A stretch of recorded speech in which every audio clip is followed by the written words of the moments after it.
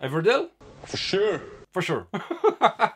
je devais te la faire, celle-là. C'est Everdell For sure. Ils l'ont fait pour moi, le jeu. Et pour François Lambrouille. Alors, Everdell For sure, c'est quoi? En même temps que je te parle, je vais te montrer un peu ce qu'il y a dedans. C'est en fait euh, une version 2.0 de Everdell qui est là quelque part. Il traîne. Euh, c'est un, un, jeu de pose d'ouvriers, de gestion de ressources, euh, de card management et de tableau building. Ouais, c'est plein de choses. C'est un jeu surtout avec du très beau matériel que je vais te déplier le plateau. Ici, ça se passe en bord de mer. Voilà. Avec des petits bateaux, avec un phare. Voilà, bah, je vais te le montrer. Hein. Je vais te montrer le phare juste pour, comme ça tu vois, parce que c'est quand même une particularité d'Everdell.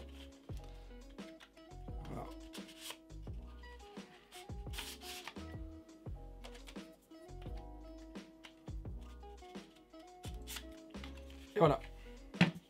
Normalement tu le poses pas là. Tu le poses pas là, mais je l'ai mis là, comme ça tu vois un petit peu. Passons tout de suite, tu as compris ce que c'était, tu connais Everdell. Qu'est-ce qui est tough dans Everdell? For sure. Ah bah, le matériel. Le matériel, c'est du matériel de luxe. Voilà. Euh, il y a des petits coquillages.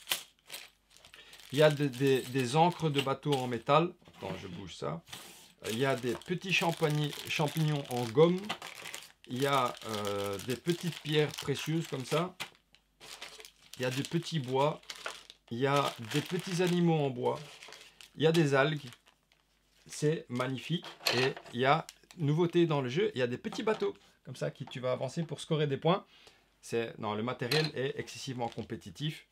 Le le terrafromage excessivement compétitif aussi. Je te le mets là. J'avais oublié que j'avais une caméra là.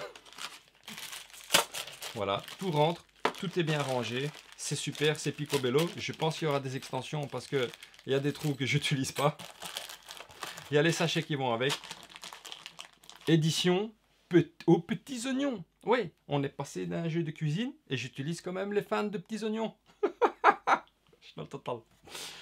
Alors, qu'est-ce qui est tough dans Everdell for sure? Comme je te le disais, je me répète, tu m'excuseras, il est tard. Le matériel, l'édition, les illustrations, euh, la lisibilité sur le plateau de jeu, tout ça, tout ce qui est en rapport avec le visuel, excessivement compétitif. La présence sur la table, ouais, ça ne sert à rien. Ouais, c'est pas faux. Mais ça fait une belle présence sur la table, je te le dis. Avec tout ce quand tu fais la mise en place complète, évidemment, hein, pas juste comme ça, hein, même si comme ça c'est déjà joli. J'y ai joué, moi j'y joue avec le quête. On a fait trois parties. Euh, la première fois, il a tout de suite sauté dedans, hein, les pieds joints. Et euh, bah voilà, non, c'est un jeu qui plaît. C'est un jeu qui plaît, c'est très joli, la couverture est très belle. Il y a, du, il y a de brillantes juste dessus. Voilà, c'est fait pour attirer les gens dans le jeu de société. Et ça, c'est top il est plus facile à prendre en main que son grand frère Everdell. Oui. Je ne saurais pas vraiment t'expliquer pourquoi, mais en tout cas, euh, on avait tenté Everdell avec le quête, c'était c'était un peu plus longtemps, donc il était plus jeune, mais ici, il a, pris, il a pris le jeu en main très facilement, et même moi, je vais être honnête avec toi, j'avais une sensation de, de légèreté quand j'ai joué à ce jeu par rapport à l'autre, l'autre j'avais mal à la tête. Celui-là, j'avais moins mal à la tête. Ce qui est, ce qui est hein. Ce qui est tough, c'est que il est plus complet pour moi. C'est aussi l'impression que j'ai. Surtout avec cet ajout de petits les petits bateaux, c'est chouette. C'est une manière de jouer en plus, c'est une manière de scorer en plus, c'est une mécanique en plus, ça offre des possibilités en plus. Il y a aussi cette... Euh, donc on commence, on a tous des cartes en main, mais on peut, dans cette version-ci, aller chercher dans, dans, la rivière, dans le magasin, dans peu importe, là où tu as des autres cartes, elles sont communes. Donc tout le monde y a accès. Et ça crée une petite course comme ça. Parce que tu sais ce que tu as besoin. Parce que pour avancer les bateaux, il y a des petits points bonus. Ça, c'est cool. Il y a une flexibilité dans les actions. Et ça, c'est mieux. C'est top. Il est aussi beaucoup plus clair à jouer. En termes d'ergonomie, de lisibilité sur les cartes, en termes de règles sur les cartes, en termes de force de cartes, il est plus clair et plus simple à utiliser, à jouer que son grand frère. Je, je, je me tiens comme ça. C'est pas bon pour le dos. Respirez. On est au bord de mer. Respirons. J'ai noté. Moins frustrant à jouer que son grand frère. Pourquoi? Parce qu'il y a les encres qui sont des jokers. Ça, c'est toujours bien parce que ça te débloque de certaines situations où tu dis non de Dieu, ce tour-ci, je vais rien faire. Bah si, tu peux faire des trucs. Voilà. Ça, c'est très bonne idée. En plus, tu l'as entendu. Hein. Ah, c'est beau la manipulation des objets. Hein. En dernier, ce qui est tough, c'est que pour moi, il est mieux que l'original. Ah C'est la question qu'on se posait tous. Qu'est-ce qu'il a de mieux? Qui est le mieux? Bah pour moi, il est mieux celui-là. Parce que, pour tout ce que je t'ai dit, je vais pas te refaire un résumé. Passons à ce qui est pas tough dans Everdell. For sure. Commençons tout de suite par ce qui fait mal. Au portefeuille. Le prix. Je crois que c'est 90 balles. Ah, J'ai pas mon téléphone sur moi, je crois qu'il est en haut. Euh, 90 euros. 90. Ça pique. Ouais. Mais ça dépend, en fait. Euh, est-ce que ça vaut 90 euros? Je sais pas. Mais en tout cas, euh, ils ont fait un grand effort avec, euh, ce jeu. voilà. Je te, moi, je te le stipule, c'est tout. Parce que ça, quand je l'ai vu aux Asmodees la première fois, ah oui, je, oh, non, je, fatigué total. Je remercie Elodie qui m'a envoyé ce jeu de Asmodee Belgium. Belgium. Moi, je vais, je vais pas lâcher l'affaire avec Asmodee FR. Dites-leur que je suis une personne sympathique. Il y a un d'entre vous qui m'a dit Demande à Simon du Passe-Temps, il les connaît bien. Mais moi, je ne connais pas personnellement Simon du Passe-Temps. Je, le connais comme ça, comme vous. Je le regarde, je l'aime bien. J'aimerais bien le rencontrer, mais je ne le connais pas. Je ne vais pas lui dire Hé eh, Simon, au fait, paye, euh, Tiche, euh, mets-moi un peu en contact avec, euh, avec José. Ah non, ça se fait pas quand même. Hein Personne éduqué. Schnoll, oui.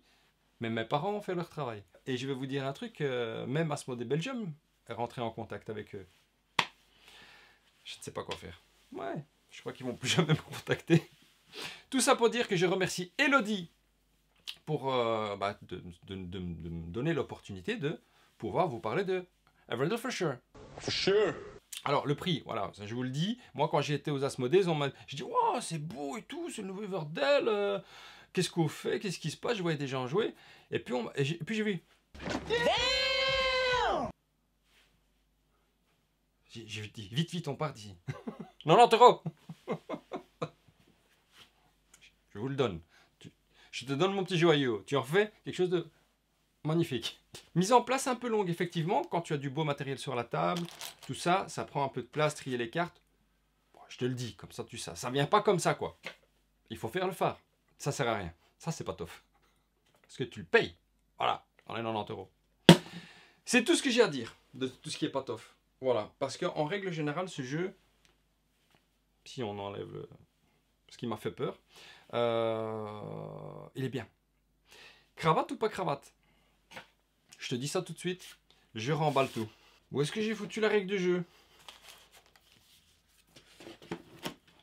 Non, ce terraformage est vraiment bien fait. Franchement, j'ai perdu la règle du jeu. Je sais pas où elle est. Je viens de m'en rendre compte. Bon. Je ne sais pas.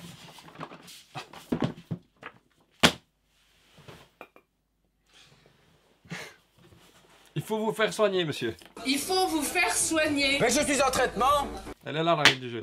Non, Note pour moi-même, ne plus jamais faire de vidéos quand je suis très fatigué en fin de semaine et qu'il est très très tard. oui, cravate ou pas cravate pour Everdell for sure? Eh bien, ce sera cravate d'argent. Oui, et je vais t'expliquer pourquoi c'est une cravate d'argent. Euh, c'est une très belle cravate, hein, la cravate d'argent. Beaucoup de gens me disent, ouais, cravate d'argent. Et eh, moi, je suis très content si je suis au championnat du monde et que je gagne la cravate d'argent. Hein. Je suis le deuxième meilleur du monde. Hein. Ah c'est une très très belle cravate. Hein. Ce qu'il y a, c'est que ce jeu, ce genre de jeu-là, n'est pas fait pour moi, euh, ni pour mon quête. Je sais qu'il y a beaucoup de gens qui aiment ce genre de jeu, des tableaux building. Moi, j'attrape très vite mal à la tête parce que au plus il y a de cartes, au plus tu dois faire attention et au plus tu dois. Il y a toutes les ressources à gérer, les bateaux et tout. Pas évident, hein, hein? Mais il me fait moins mal à la tête que Everdell. Voilà, je vous le dis de manière toute transparence. C'était pas très français. En toute transparence, je vous le dis. Je, si je dois en garder qu'un, je garderai celui-là. Je ne garderai pas Everdell. Voilà. Comme ça, vous le savez. C'est un choix que je fais. En tout cas, euh, très belle cravate, hein très très belle cravate d'argent. Euh, Mais c'est- vraiment moi mon jeu. Il n'y a pas de croquette. hein. Si vous me connaissez, vous savez. hein. Moi, si je peux pas envoyer une croquette pendant le jeu, on coche pas toutes les cases. hein.